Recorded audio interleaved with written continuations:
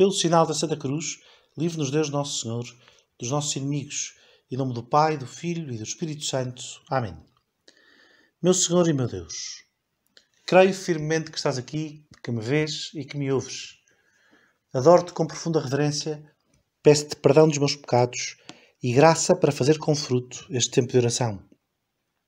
Minha Mãe Imaculada, São José, meu Pai, Senhor, anjo da minha guarda, intercedei por mim. Quase todos os portugueses já foram a Fátima. Ou nos dias 13, nas peregrinações, ou de passagem, uh, nas andanças ali saindo na A1. Quase todos já foram e todos certamente já ouviram falar de Fátima.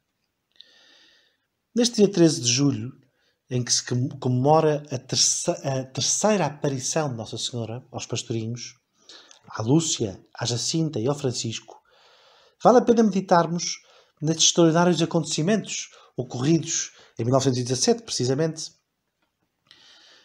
e, e olhar para as memórias da irmã Lúcia, que nos conta que na primeira aparição eh, a pergunta, a primeira pergunta que fez a Nossa Senhora foi de onde é vosso Messê?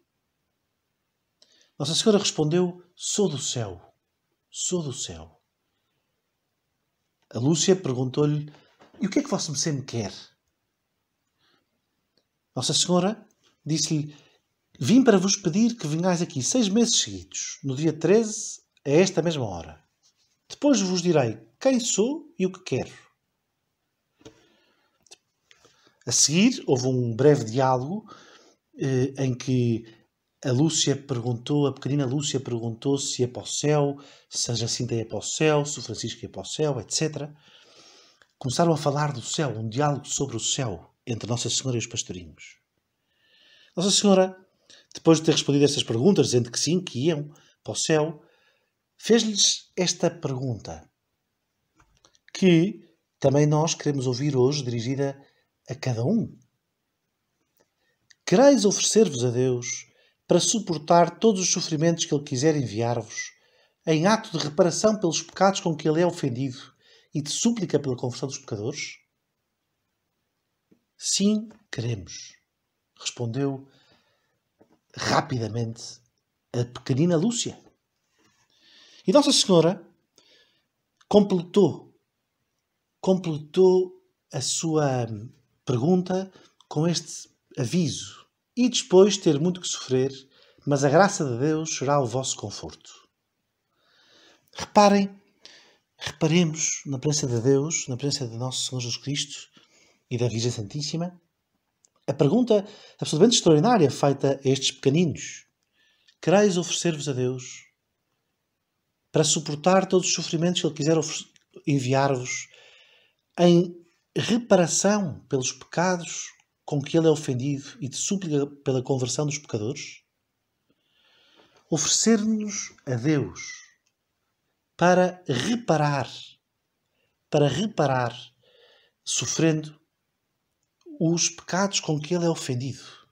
Reparar, consertar, pôr no sítio, estar disponível para sofrer para que todas as coisas estejam no sítio, para que tudo se cumpra segundo a vontade de Deus, para que a bondade de Deus, para que a sua justiça se cumpra nesta terra, para que os pecadores, aqueles que vivem eh, longe de Deus, com vidas desordenadas e a sofrer, se voltem para Deus, se convertam. A Lúcia a Jacinta e o Francisco responderam que sim.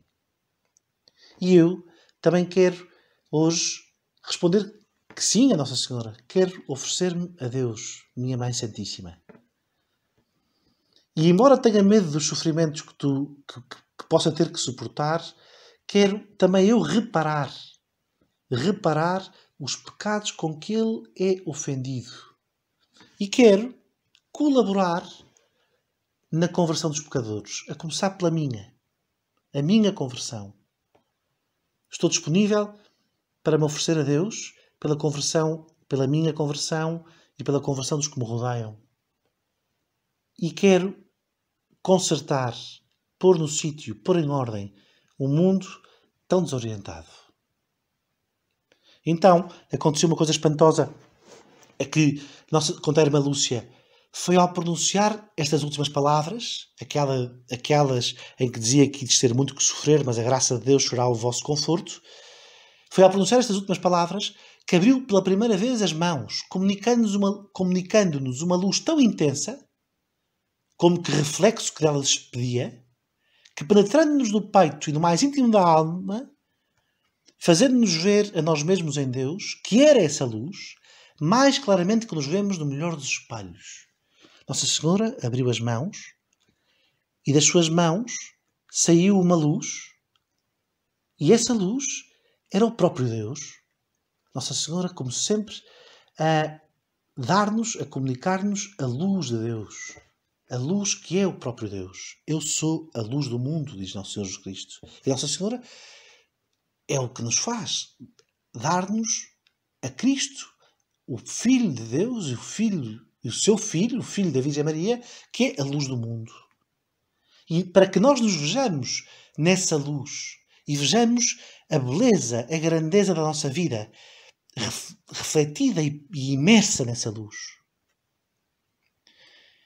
Os pastorinhos começaram, um, no impulso íntimo contra a irmã Lúcia, a rezar, de joelhos. Ó oh Santíssima Trindade, eu vos adoro. Meu Deus, meu Deus, eu vos amo no Santíssimo Sacramento. Santíssima Trindade e o Santíssimo Sacramento. Que maravilha este relato. Um mês depois, no dia 13 de junho, Nossa Senhora voltou a aparecer e voltou a, a falar com os pastorinhos. A irmã Lúcia perguntou-lhe de novo: Vosso sei que me quer? E Nossa Senhora repetiu-lhe: Quero que venhais aqui no dia 13 do mês que vem, que rezeis o terço todos os dias e que aprendam a ler.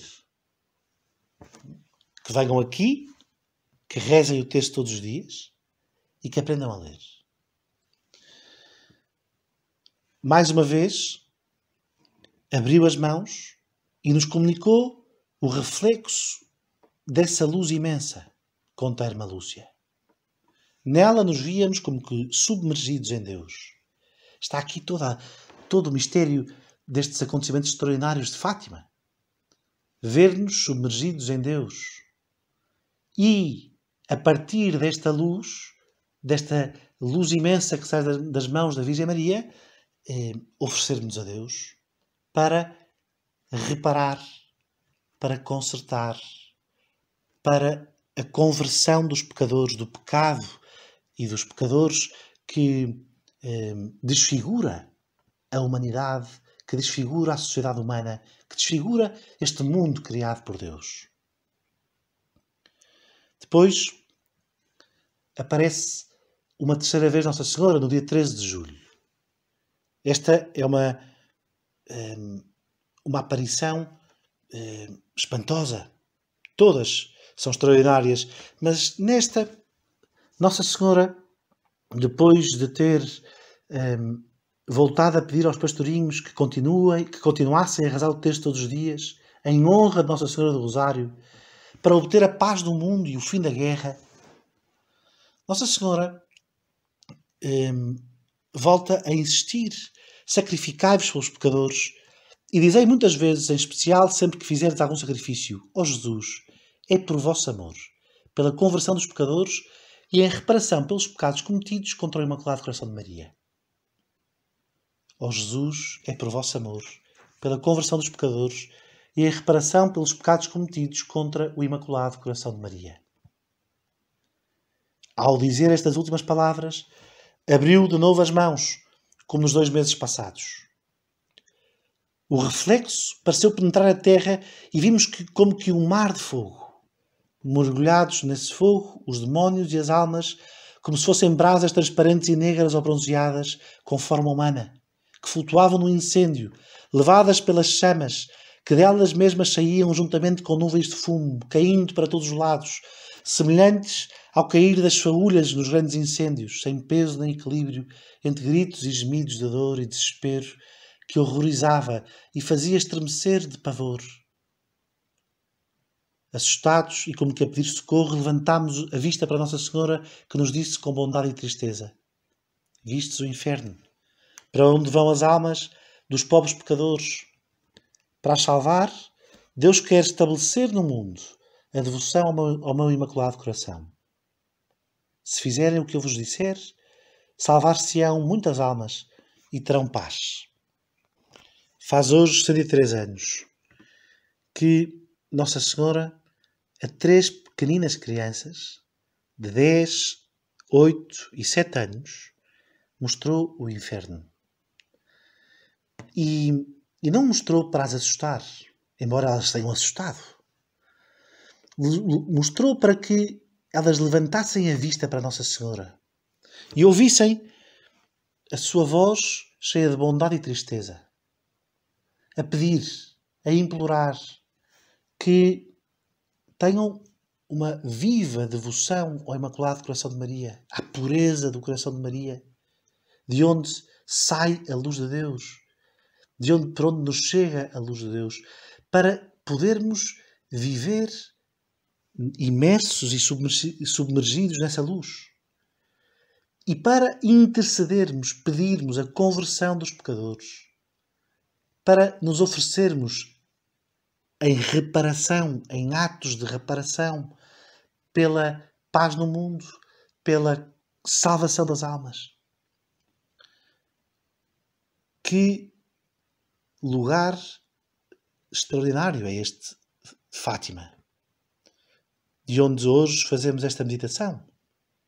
Que lugar extraordinário! Lugar onde Maria nos chama hoje de novo a oferecermos a Deus para suportar todos os sofrimentos que Ele nos quiser enviar em reparação dos pecados com que Ele é ofendido e pela conversão dos pecadores. Meu Deus, Mãe Santíssima, dá-nos coragem para dizer que sim e para te darmos a nossa vida, para que os homens tenham paz e que e caminhem para ti com decisão e com o coração convertido e firme com, e, os, e, os, olhos postos no, no Coração da tua Santíssima Mãe. Dou-te graças, meu Deus, pelos bons propósitos, afetos e inspirações que me comunicaste nesta meditação. Peço-te ajuda para os pôr em prática. Minha Mãe Imaculada, São José, meu Pai e Senhor, anjo da minha guarda, intercedei por mim.